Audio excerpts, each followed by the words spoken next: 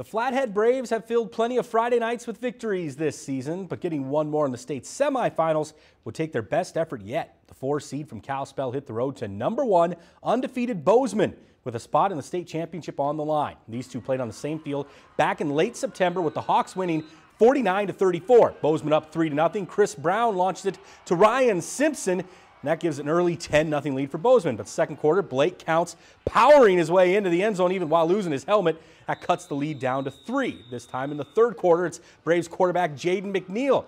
He's hauling it around the left side and into the house as Flathead takes their first lead, 14 to 10. Now we go to the fourth quarter. Bozeman answers.